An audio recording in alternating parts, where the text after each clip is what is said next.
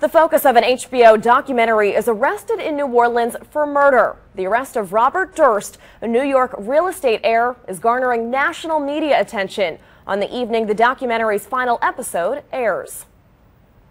The website for the documentary on HBO, called The Jinx, features a promo for the series finale. My name is John Osborne, and I'm a forensic document examiner.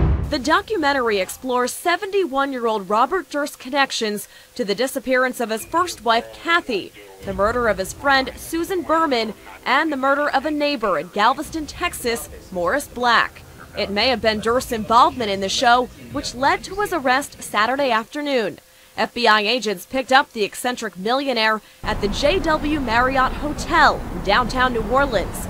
The Los Angeles Police Department secured an arrest warrant for the 2000 murder of Susan Berman after the department says new evidence came to light in the past year. Durst appeared before a magistrate judge here at criminal court Sunday morning. He's now being held at Orleans Parish Prison without bond. He'll make another appearance here Monday morning for an extradition hearing. Durst's Houston-based attorney Chip Lewis says he'll waive extradition.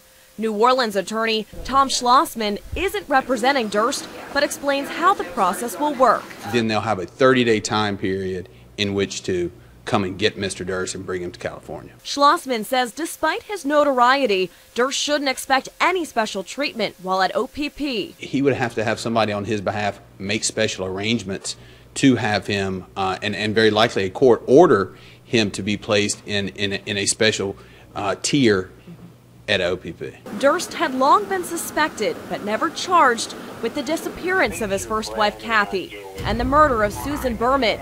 The documentary explored investigators' suspicions that Berman was killed because she knew what happened to Kathy Durst.